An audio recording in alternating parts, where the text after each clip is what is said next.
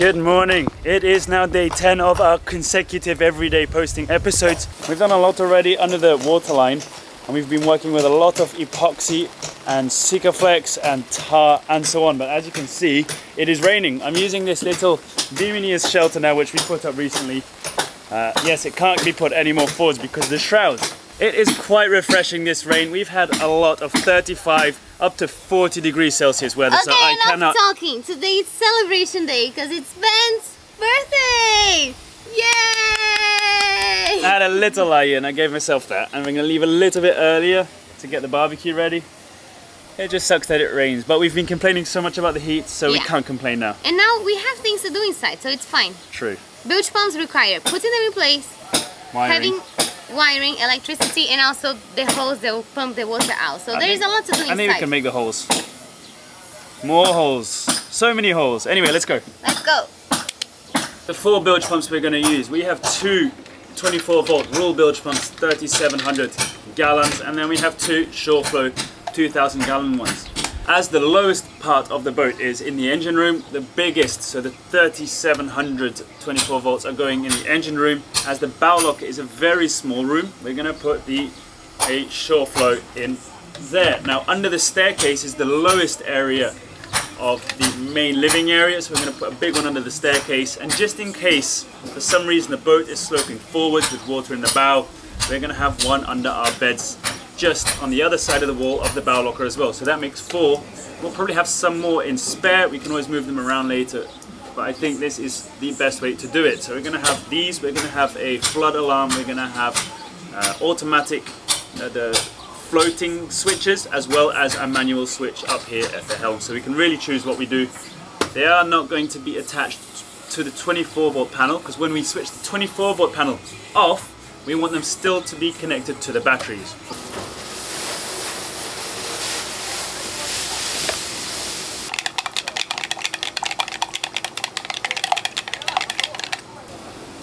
Yok wash it, wash it, wash it, wash it, wash it. There was some leftover varnish and there's always something that's missing some, so here I am. Look at that.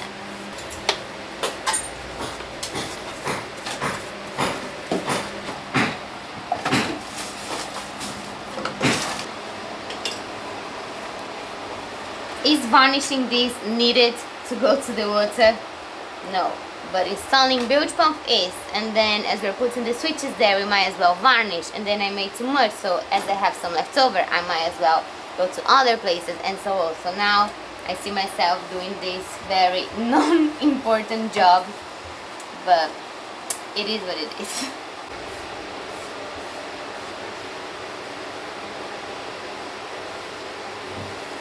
yeah we weren't going to do any varnishing or anything but the bilge pump switches are going to go on there. We don't want to put the switches on and have to remove the switches to varnish.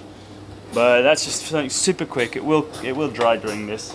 And piece opening unlocking that from the inside. Super easy now with the pistons. There we go. Hello. first pump. Here.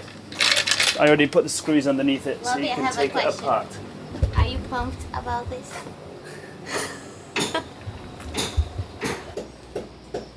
Here.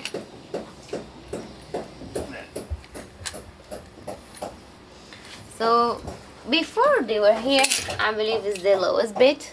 I mean, it is the lowest lowest accessible bit. bit Yeah. I think it's the lowest bit. yeah So this is it.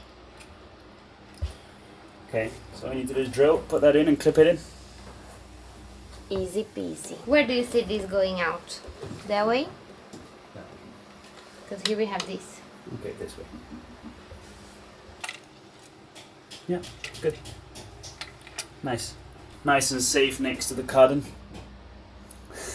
There's no other way. It is the lowest bit, what can we do? We are here playing around with the position of the pump. If you want the outlet to be that way or this way and all that. Unfortunately, that's all that we can actually play around because the lowest place that we can access is this one. This is where the bilge pump lived before. We, I don't know if you know this, but when we bought Yabá, we lived on board when she was sinking for three months until we got here. So for three months, we had the pump here, and even though we know it's under a shaft, and it's not ideal, it worked for us, and it is the lowest point. It's where it has to go. So we're gonna install it there again, and all we have to choose is that way or that way. This here is the sapinho, we call it like that in Portuguese, which means little frog, and it's the automatic. We will attach it next to the pump. And when water starts going up this floats until it clicks. Can you hear that? Wait again. Yeah. And that click sends the signal for this to start and where's it gonna go? pumping. Something like that? Yeah. Can it go all the way up without getting caught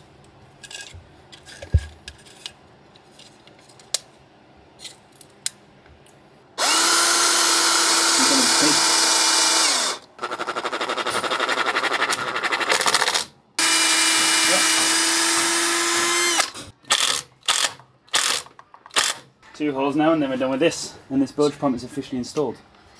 Well, officially installed in my standards is something else, which means in place with electrics and a hose going out through a through hole. Sorry, love. This will be in place then.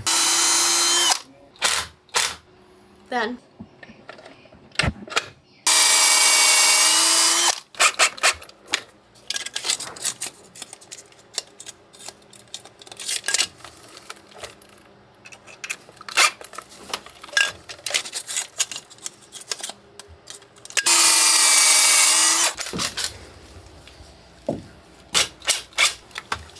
It's not going anywhere. Very easy access over here. Yes, this is a spinny part, but it, MP painted it yellow so no one can get hurt here.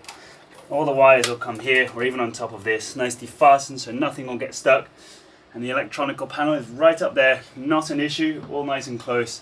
We just need to pull a hose up there, drill a hole, and then this one's done. But I think we're going to put the other three in place first.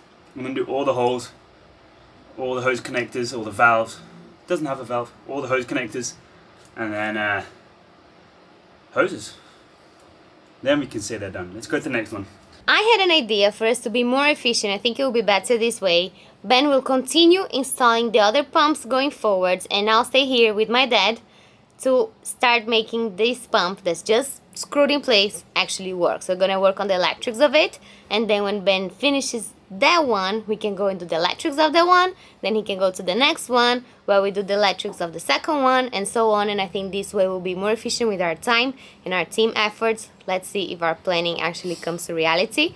My dad and I are here, ready to start the electrics. And Pierre and Orlando are going to connect the one in the engine room already because that's in place. All they need is wiring while I work my way forwards, putting more bilge pumps. The next bilge pump is going to be right in front of this bulkhead. We made it, well, the goal is that it's a uh, watertight one, so all the water that runs down ends up here. And this is a big area, so we're going to put another 3,700 gallons uh, rule pump. And then we've got two in the bow one by the wall over there, which is going to be the slightly smaller uh, Shurflo one, and then an another Shurflo in front of the other bulkhead. So let's just get these stairs up. This is these stairs will be made a lot easier to lift and a lot safer, but for now this is what we have. Lift up the floor, literally put the screws in, the floaty thingy, automatic switch, and then uh, move forwards.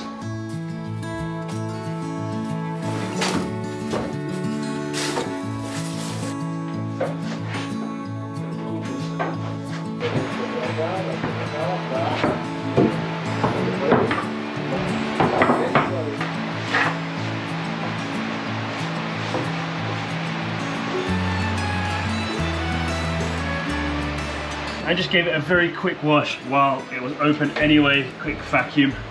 Can't wait to fill this bilge with salt water, give it all good rinse, throw everything outside and just have it all nice and, well, it will never be really clean, but you know what I mean. Anyway, this pump is going in. I need to see if we have the little sapinhos because this is here 16 amps and those are 14 amps switches so we might have to go and get some more but let's put this in place already I think as we've got one through hull coming up that way we'll put the other one this way just so they're not all, you know, like piled up together. So bilge pump going out that way now.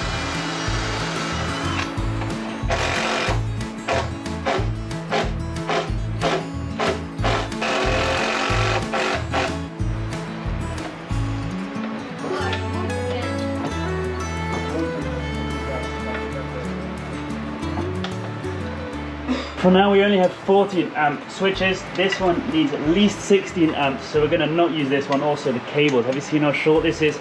And it's used. We wanna have everything nice and secure and fail proof, 100%. So we're gonna leave this one here. I'm gonna shut the floor already, shut the ladder or the stairs. It won't squish this wire, don't worry, it sits on top. This one's slightly lower. And then I'll go to the third bilge pump.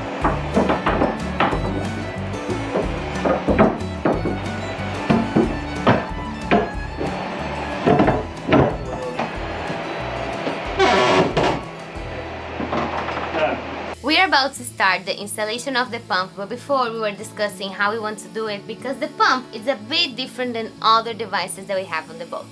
Every device so far, we bring the positive, bring the negative, and then that's it. But the pump, it is a little bit different because we want it to be able to work alone without us having to turn a switch on or off. So why is all this different? Of course, what does the pump do? Pumps water out the boat. We don't want that to happen only if we are aware of it. So that's why it needs to work automatically. But we also want to have the option to make it work manually if we ever want to pump it with a button. That's why the switches are made like this already. There is the auto function. You just put the switch that way and it works automatically. But there's also the manual that while you're holding it, it is pumping when you let go. That's it. So we're going to make this switch works. So how is it here at the pump? I know this might look like something very different that you've never seen before if you're not really into boats, but that is just like the switch that we use for the light. You know, when we turn the switch on, the light goes on, the switch off, the light goes off, just like that. But this one, the way to activate it is by floating. So what it does is it will have the power to it all the time and what will make it turn on is the water level going up and making that float. And then when it clicks it's on and you'll send the signal to the pump. So the pump will have one positive going straight to the button to work manually. And then the automatic one will go through that switch because it works as a switch and then to the pump. We don't want the connections to be underwater so we're gonna bring them up. And then from there up there to our panel where the switches will be. I come bearing bad news. Well, it's not that bad. This type of pump won't work under our beds. We've got so much ballast down there and the keelson is in the way that we're going to get a different type of pump for just that region, which is good because it leaves us one of these spare. It's always good to have a spare or put it in another area. We're going to get one of those pumps that has an in and outlet so that we can put the pump slightly higher and have a hose going down to the center of the boat. So that we don't need to be I don't need an arm extension to reach the area where the bilge pumps has to go to screw it on. So yeah we're just gonna wait with that one. Gives us one spare. We'll go shopping probably maybe tomorrow right even?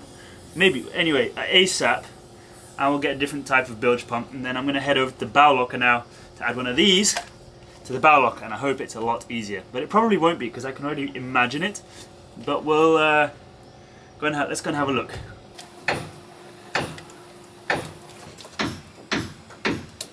So one of the switch will go straight with a positive to the automatic button and the other one will be connected giving power to the pump so when the automatic gives it, the pump can receive it. And then the positive of the pump, this one, will also come here. And this third one that I still have available will be the manual one. So here is the positive of the pump. The pump will always receive power through this one. It might be or from the automatic here to the switch or from this wire that goes straight to the manual switch. So what I want to do here is have a waterproof box that's worry-free that we can put the wires in and even if it's underwater it shouldn't be a problem they'll be in there very safe, and then continue. I know the box I want, but I still don't have it in my hand, so I'm just gonna keep that in my mind, imagining here, and I'll continue from there.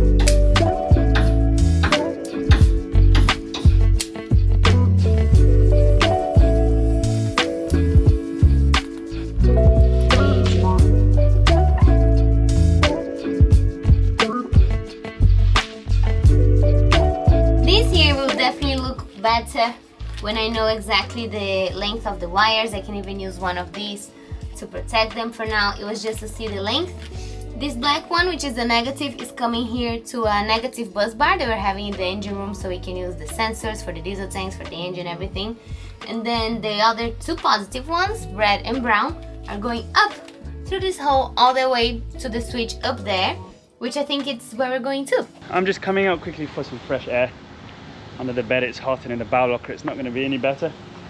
Um, I've realised even though it was raining before and it's drizzling now, under here it's completely dry. So I might actually get these two through holes in today. And then uh, what else is left? Then we've only got a few more to go. To go. And as it's dry, Mita and Nico are over here and they're finishing the caulking. I think there's what, two and a half meters to go? Hardly. I think it's going to finish in quasi, ne? Yeah. And Nico's over there finishing, going out over with some caulking compound.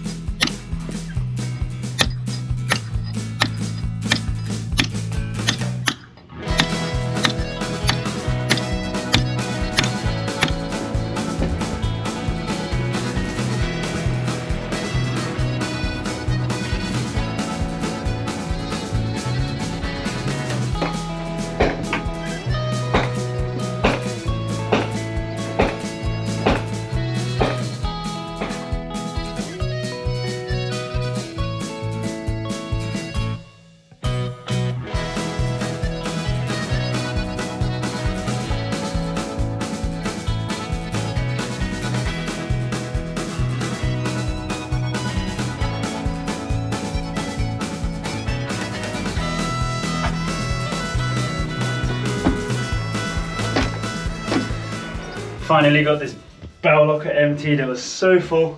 Got a fan in here. It's also very, very humid in here because we still don't have the vent in the hatch. But uh, we can definitely fit this bilge pump here. See, the hose pointing towards there, so we can still attach it. However, I'm gonna have to make a support that sits on top of the keel. It's gonna cover a bit, but uh, yeah, just put it right here. It's still at a very, very, very low point. I'd rather have a bilge pump in here, and that's the only way I can see it working. Well, either one side of this, but I'm going to do that. Make a little support, fasten that down, and install this one.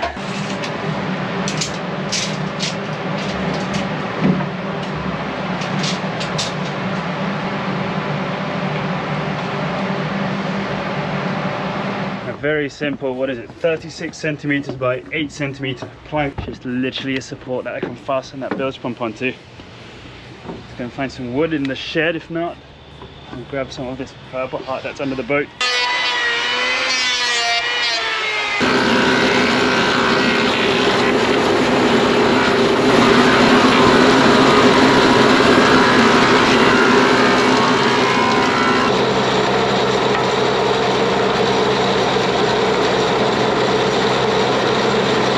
I got the plank over here, it's nice and solid and thick. I'm gonna put four, maybe even five screws on here.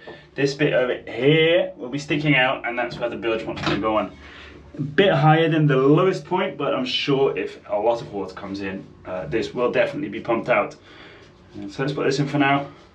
Of course, I also think boat sailing is problem solving. So as we're sailing, we'll make lots of adaptations. For now, this is the best I can think of with what we have. Yeah, floor is all liftable, everything is inspectable. I made this as thin as possible also so you can see next to it. So I didn't want to fill the whole area. And that's why we, I chose the strong, it's EP, IPE with a little hat on the E, if you want to look up what wood this is. And uh, let's put this in place.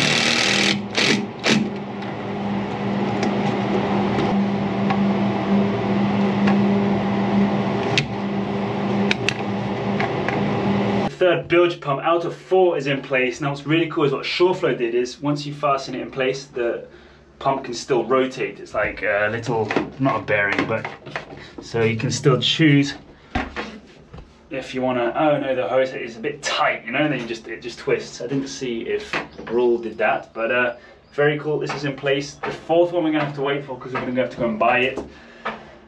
Next steps are through holes and hoses. However, there's two through holes in the boat or holes in the boat that I still have to fill. They're the ones from yesterday from the grey water, no, from the toilet of the port forwards uh, bathroom. So I'm gonna just quickly put those through holes in. It's dried up loads now. And then I'm gonna maybe see if there's any time left. How much I have to leave in one hour. So I'll definitely put those through holes in and then let them cure. Tomorrow I can clean all the through holes up. I need to clean up all the through holes anyway. It's going really well, it's very hard. I'm gonna turn this on again. Also, I've got all this to put back in, but that shouldn't take much time. Nico can maybe help me out. I'm gonna put all the floor planks in again.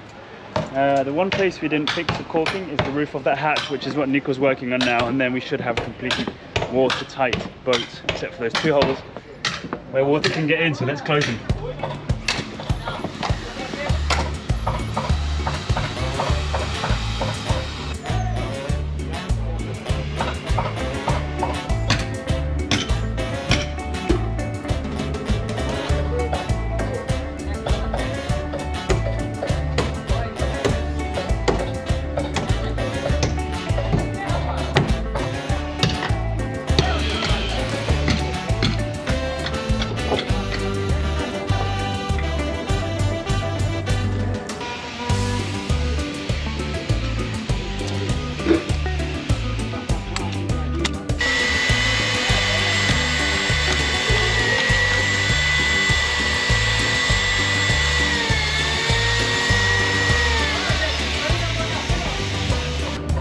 Thought you could never have too much, but I just proved that wrong. I'm gonna tighten it from the inside, then I'll come out here and uh, clean it all up.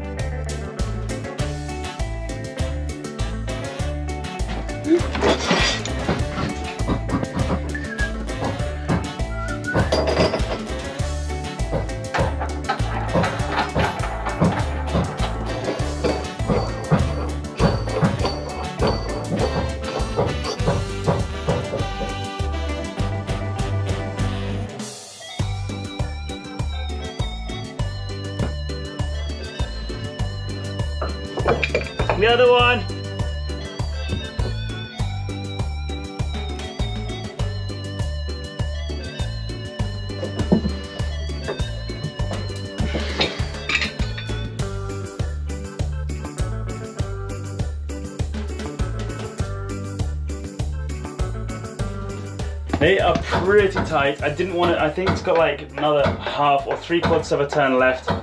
I'm gonna do that, however, when it's dry. I think that's the way, I hope that's the way. And uh, then we have two more underwater through holes, which makes that three. Got two more on the other side to go and one more transducer. And then that's literally the underwater part of the boat done.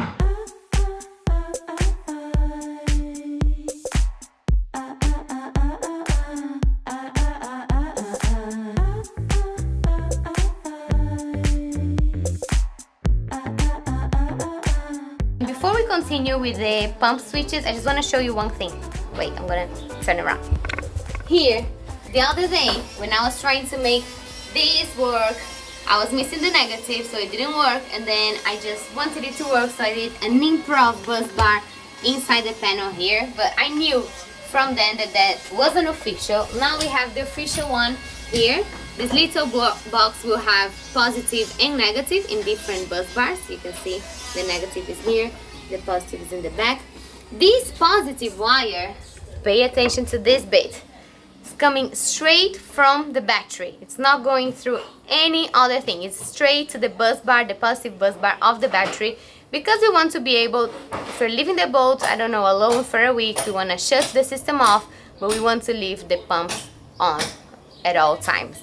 So this little bus bar here will have power all the time straight from the battery for things that we think that are important to leave on. So positive here, straight from the battery, here, straight from the battery, and the negative is coming from the panel.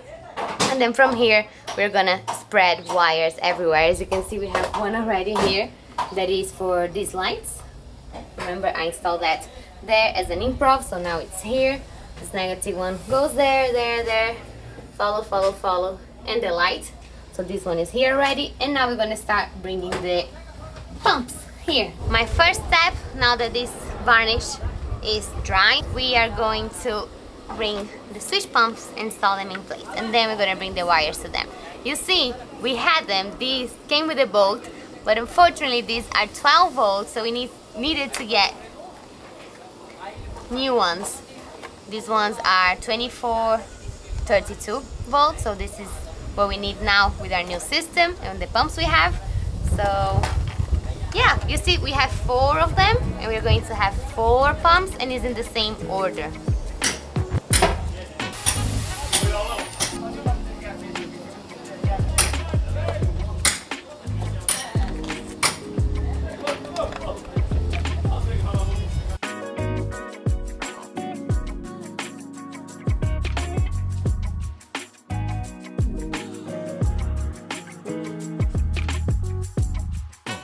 We are about to install those wires that we came all the way through and sent up to the switches so the pump can finally have power. It's always good to read the manual because if you see here, the manual wire goes in the auto position and the other way around. So I wouldn't have guessed that. It's quite counterintuitive, but I read the manual, so I'm gonna do it right.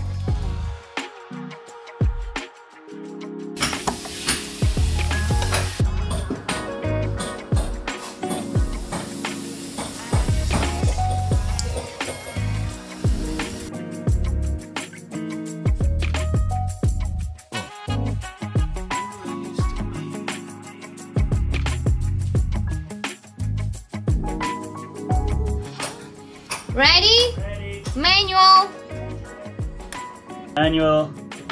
Yeah. Yeah. Nice. Auto's on. I lift this. Yeah. Yeah. We're not sinking anymore. Uh, it just feels so good when things work. I think this is a good moment to end the episode with this huge victory. Do you guys agree? You know what you said? Here, so I can be a bit taller. We have one problem though. Why?